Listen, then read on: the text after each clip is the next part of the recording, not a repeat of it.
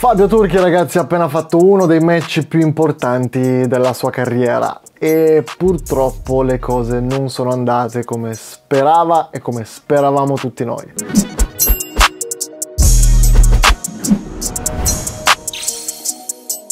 Ciao a tutti ragazzi, benvenuti in questo nuovo video. Oggi andiamo a parlare dell'ultimo match del nostro italiano Fabio Turchi che ieri sera si è giocato un match veramente, veramente molto importante per la sua carriera. L'avversario di Fabio Turchi ieri sera è stato l'inglese Richard Riakpor, un pugile di 32 anni con 14 match, 14 vittorie. Quindi stiamo parlando di un pugile imbattuto. Sulla carta in teoria doveva essere in vantaggio il nostro Fabio Turchi che aveva qualche match in più, 22 match di cui 20 vittorie. Quindi di conseguenza anche un po' più di esperienza rispetto al fighter inglese. Tuttavia ragazzi sapevamo che Riakpor sarebbe stato un osso duro e non solo per la sua stazza che era veramente gigante, un pugile veramente gigante ragazzi, oltre 1,95 m con delle leve veramente lunghissime e come se non bastasse ragazzi con il colpo da KO. Ebbene sì, i suoi colpi facevano veramente tanto male e su 14 match sono state ben 11 le vittorie per KO, grazie alla sua potenza, grazie al suo KO power. Ma perché dico all'inizio del video che sarebbe stato uno dei match più importanti nella carriera di Turchi? Ebbene ragazzi, questo match era un match ad eliminatorie, quindi chi vinceva questo incontro aveva la possibilità di andare avanti e competere per il titolo mondiale IBF dei pesi cruiser. Purtroppo match che non è andata come speravamo,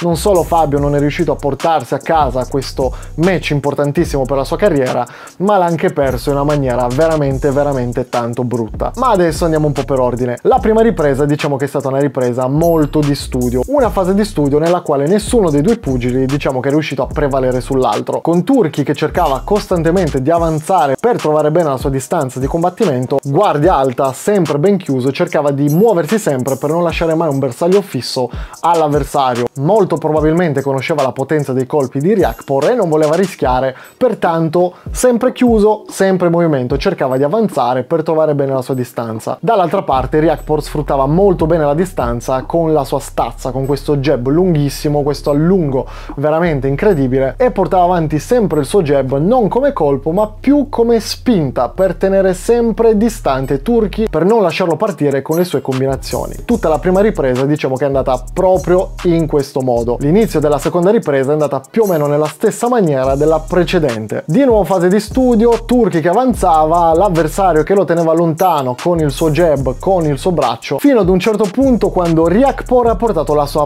prima e unica combinazione in questo match. Due colpi con l'ultimo che è stato un montante al fegato di Fabio Turchi che lo ha preso di striscio, colpo però che è bastato per piegarlo e farlo cadere a terra. Ora però detto sinceramente non vi so dire se quel colpo Turchi non se lo stesse aspettando, quindi è stato un colpo a sorpresa oppure fosse veramente così tanto forte. Fatto sta che sono bastati solamente questi colpi per mettere giù il nostro italiano e farlo così contare dall'arbitro. Il match però non è finito in quel momento perché Turchi verso la fine del conteggio è riuscito a rialzarsi e pertanto voleva continuare la gara. Il problema però qual è stato?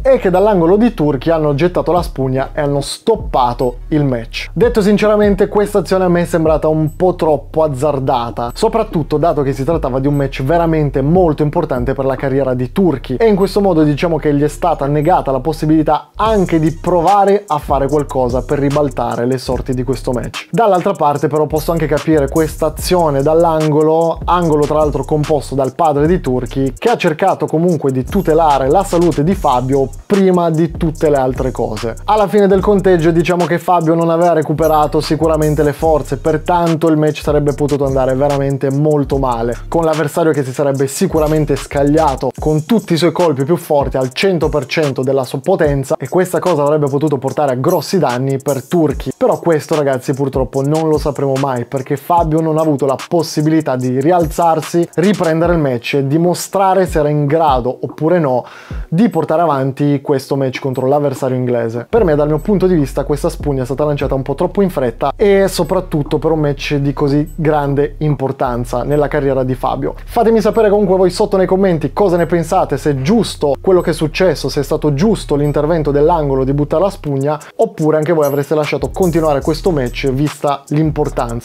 di questo incontro. Scrivetelo sotto nei commenti, noi ci vediamo al prossimo video. Oi!